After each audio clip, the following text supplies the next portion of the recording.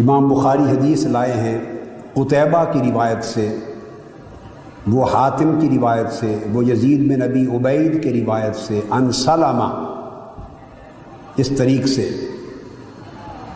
और फरमाते हैं कि जब खैबर का वाक़ हुआ तो सैदना अली मुर्तज़ा रज़ी अल्लाह तु करम वजल करीम, आपकी चश्मान मुक़दस आँखों में कुछ तकलीफ़ थी तो आप ज़रा एक दिन पीछे रह गए और पीछे से आके मिले।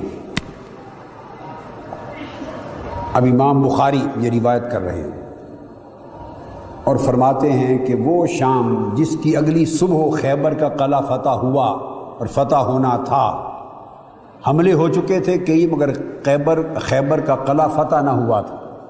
तो आकर इस्लाम ने फरमाया, अब ये इमाम बुखारी ला रहे हैं हदीस।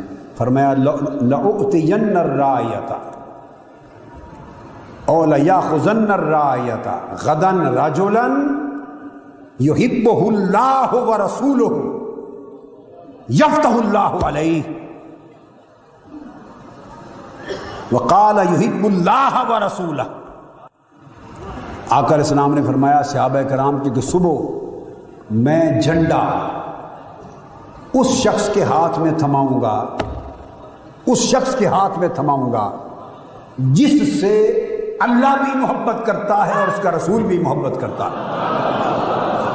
और वो शख्स, वो अल्लाह से मोहब्बत करता है और अल्लाह के रसूल से मोहब्बत करता है। और अल्लाह और अल्लाह का रसूल दोनों उससे मोहब्बत करते हैं।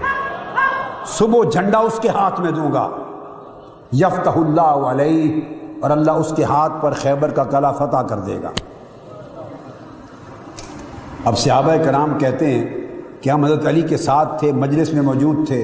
सारी रात हर शख्स आरज़ू करता रहा कि मौला वो मुझे बना दे। वो जो खुशखबरी आकर ने सुनाई कि उसको झंडा दूँगा, जिससे अल्लाह और उसका रसूल खुद मोहब्बत करते हैं और वो अल्लाह और उसके रसूल से मोहब्बत करता है। हर शख्स आरजूमंद रहा और हर एक की निगाहें चेहरे मुस्तफ़ा की तरफ़ थी, लबान मुस्तफ़ा की तरफ़ थी, हजूर के लबों की तरफ़। कि सुबह आका किसको मुजद जाफिजा कर उसको झंडा थमाते हैं। रात भर आरज़ू करते गुजर गई।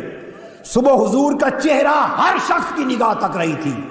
इतने में हज़रत अली शेर खुदा आए आकर इस्लाम ने अली को बुलाया। फ़ाता रसूल वसल्लम फ़तः आका ने हज़रत अली को बुलाकर झंडा उनके हाथ में दे दिया। और उसी दिन खैबर का कला उनके हाथ पे फतह हुआ।